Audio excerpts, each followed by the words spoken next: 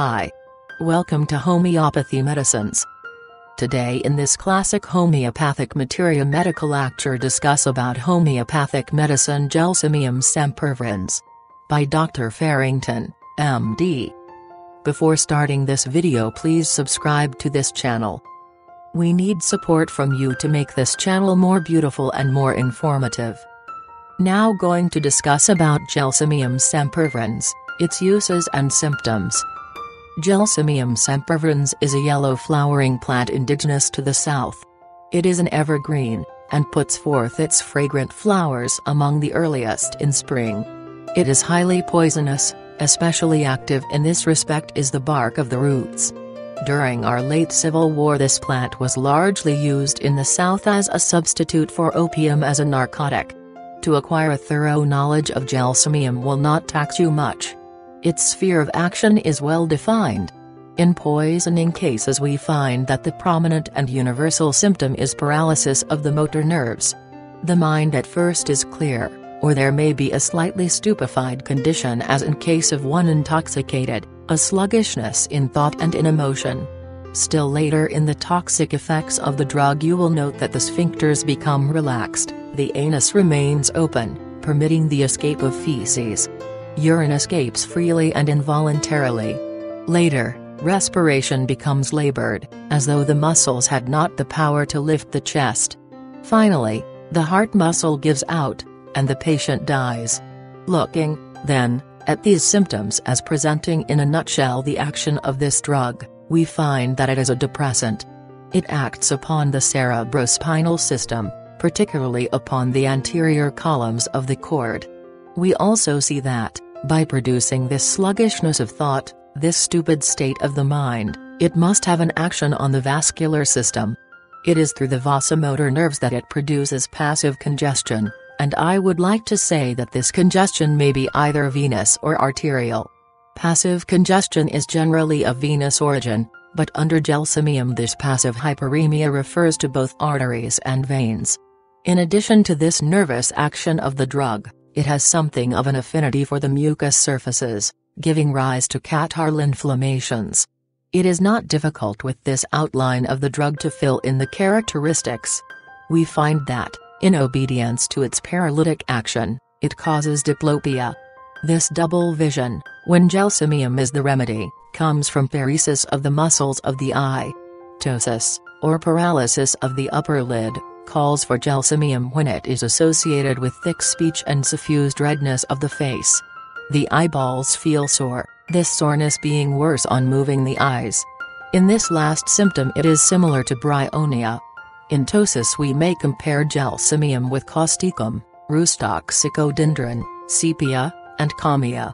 Rustox is useful in ptosis, or, in fact, in paralysis of any of the ocular muscles, when the disease occurs in rheumatic patients as a result of getting wet. Sepia is indicated in ptosis when the disease is associated with menstrual irregularities. Kalmia is also useful in ptosis of rheumatic origin, when attended with sensation of stiffness in the lids. Causticum, in ptosis of rheumatic subjects. Returning now to gelsemium, we find that there is difficulty in swallowing, dysphagia, as it is called. This symptom is due to defect in the muscles of the glutition. Aphonia, or want of voice, may be present, the patient may be able to whisper, but he can scarcely utter any sounds on account of the paretic state of the laryngeal muscles. This symptom is frequently observed in hysterical women after emotion, especially after emotions of a depressing character. Paralysis after emotion is noted under other drugs, for example, under Natrum mur, which has, the arm almost loses its power after a fit of anger. The heart is affected by gelsemium, the patient, on going to sleep, is suddenly aroused with the feeling that the heart will stop beating. He feels that the heart would cease to beat if he did not move about. Here, the heart muscle is in a weakened state, and there is a sort of instinct on the part of the person to move about to stimulate it to act. Digitalis has a symptom just the reverse of that of gelsemium above mentioned, namely, the patient fears that the heart will cease beating if he makes any motion. Grindelia robusta has great weakness of the heart and lungs. When the patient drops off to sleep he wakes up suddenly with a sensation as if the respiration had ceased. In post-diphtheritic paralysis, gelsemium is our most valuable remedy. In one very severe case of this disease under my care, gelsemium effected a perfect cure. The child did not have sufficient strength to hold herself up. The spine in the upper cervical region was bent backwards. One side of the body was paralyzed. In attempting to walk, the child would shuffle along as though she had no control over the muscles. If she attempted to turn around, she would fall. The speech was thick and heavy, as though the tongue were too large for the mouth. There was marked strabismus. Sensation was nearly perfect. I ordered the patient to be stripped twice a day, and laid on the bed, and well rubbed. I gave her gelsemium internally. Under the use of this remedy, she made a perfect recovery. I doubt if gelsemium will cure paralysis of organic origin, when there are alterations in the brain, the spinal cord, or the peripheral nerves themselves. Gelsemium is useful in some cases of headache. I said a few moments ago, that gelsemium causes a passive congestion and by that I mean, not a violent, sudden efflux of blood to a part, but that condition of the blood vessels in which they are dilated, just such a condition as I mentioned, the other day, under pharynthose. The headache begins in the nape of the neck, passes up over the head, and settles down over the eyes. It is usually worse in the morning, and is accompanied by stiff neck. The patient cannot think effectively or fix his attention. He becomes listless and stupid, dizziness with blurred sight and heaviness of the head. These symptoms are alleviated by the discharge of watery-looking urine. Olamanimol has cured megrim with polyuria, the urine being perfectly clear. The face is a suffused red. The eyes grow heavy and bloodshot. There is great difficulty in lifting the upper lids, often, too, the speech is thick, as though the tongue were unwieldy. Altogether, the face has the appearance of one under the influence of liquor. Thought, too, is slow, so that the patient answers questions either slowly or imperfectly. This condition is accompanied by a pulse which is full and round, which seems to flow under the fingers like a current of water. It is exactly like the aconite pulse, except that it lacks tone, that is, the hard, unyielding pulse that aconite has. Here, then, you have symptoms which suggest gelsemium in a variety of diseases. How useful it ought to be in the congestive stage of spotted fever. This remedy has, in addition to the symptoms already mentioned, another which is characteristic of spotted fever, that is, depression. The system seems to be laboring under some poison which it cannot overcome. So, you have every indication here for the use of this drug in that dreaded disease. When the case advances to active inflammation, when there is effusion, gelsemium steps out and gives place to other remedies. In addition to the form of headache above described, there is another which is associated with a feeling as though there were a band around the head, or across the forehead. Now for the fever gelsemium produces. Gelsemium causes a fever which is remitting or intermitting in its type. You will find it a valuable remedy in the remitting types of fever in children. You find the patient drowsy and tossing about the bed in agony. You cannot give aconite in these cases, unless the mental symptoms of that remedy are present, the face is red, it has this suffused redness, of which I spoke a few minutes ago. When the child is aroused from this drowsy state, it is peevish, irritable, nervous, or somewhat excitable, but never has the violent tossing about of aconite. In extreme cases, the drowsiness may give place to convulsive motion. The muscles of the face twitch, the child becomes rigid, as though it were about to have a convulsion. There is usually not very much thirst, but there is great prostration, so that the child seems too weak to move. Every part of the body seems be so sore that he cries out if you move him. These symptoms will remit and, possibly, the next morning, slight perspiration will show itself. The next afternoon the symptoms return as before, in intermittent types of fever you may select gelsemium in the beginning. The chill runs up the back or starts from the feet and extends upwards. It is sometimes associated with copious urination and with bruised aching feeling all over the body. The patient wants to be held so that he will not shake so much. Then comes the fever with the symptoms that I have already mentioned. Sometimes, there is irritability exhibited. The patient can bear neither noise or light. The sweat is slight or partial but it relieves all the pains. The tongue is coated white or yellow. Speech is thick. The bowels are constipated and the stools are yellow. It is especially indicated in intermittent fever of non-malarial origin. In adults, we find gelsemium the remedy in bilious fever, particularly bilious remittent fever.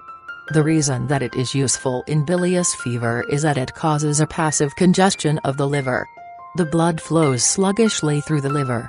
This is not the same portal stasis that you find under nux vomica, but it is a lazy flow of blood. Thus the liver becomes overcharged with blood, the bile cannot be properly secreted, and you have a bilious type of fever. In typhoid fever gelsemium is indicated, particularly in the initial stages, when, during the first week, the patient feels sore and bruised all over, as if he had been pounded. He dreads to move. He has headache. More than that, he has lost muscular power. He is drowsy, and has this same suffused red face. In these cases, gelsemium will so modify the course of the fever that the patient will pass through it with comparatively mild symptoms. We may find a gelsemium indicated in catarrhs excited by warm, moist, relaxing weather, with excoriating discharge from the nose, making the nostrils and wings of the nose raw and sore. There are frequent sneezing and sore throat, the tonsils being red and somewhat tumefied, with difficulty in swallowing. I would remind you in passing that this difficulty in swallowing is not what it is under belladonna. Under this latter remedy the difficulty comes from the extent of the swelling, and also from spasmodic contraction of the fauces, owing to the hyperesthesia of the nerves. The minute water touches the throat it is expelled through the nose. With gelsemium, the dysphagia is the result of the paretic state of the muscles, or the patient was muscularly weak when he caught cold. With this cold you will find dry, teasing, tickling cough, with very little expectoration. You find general prostration, and often, too, neuralgia of the face. In prosopalgia, gelsemium may be of use when the disease affects one side, and is intermitting in its type. The seventh pair of nerves is involved, and the patient makes all sorts of grimaces. Gelsemium has some slight action on the skin. It produces an itching and redness of that tissue, this itching being violent enough to prevent the patient from falling asleep. A little eruption consisting of small pimples, and somewhat resembling that of measles, may appear. Gelsemium may, therefore, be used in measles in the beginning, when fever is a prominent symptom, and we have present the cores of the remedy, watery discharge from the nose, excoriating the wings of the nose and the upper lip. There is apartment to be associated with this, a hard, barking, croupy cough, and hoarseness. Aconite, other things being equal, is the best remedy we have for the beginning of measles. If you find a case that you presume is going to be measles, with fever, restlessness, photophobia, coryza, sneezing, and hard, croupy cough, you are justified in giving aconite.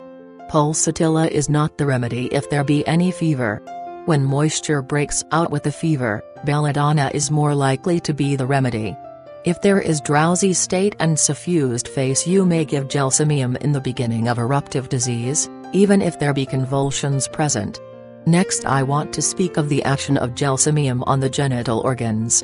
On the male organs, gelsemium produces a condition very nearly approaching impotence, frequent involuntary emissions at night, with relaxation of the organs, no lascivious dreams, and often cold sweat on the scrotum.